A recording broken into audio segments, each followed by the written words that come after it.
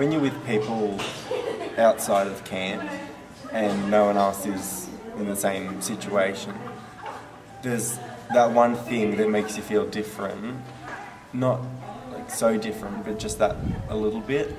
And when you hear that difference is the similarity, and so you'll connect through that.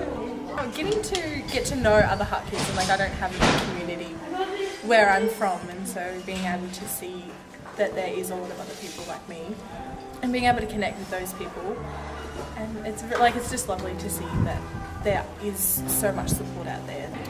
It gives me a sense of like family and like I belong in a community that's like I'm not odd.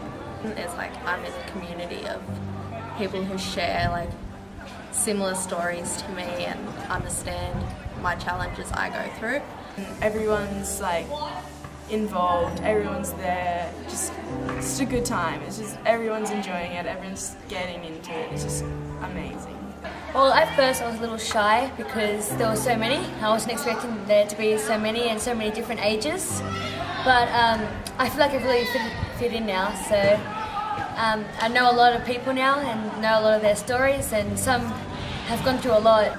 I was so nervous. I was forced to go by my parents, and I didn't want to go. And the whole ride there, I was terrified. And then on the ride back, it was the opposite. Didn't want to leave.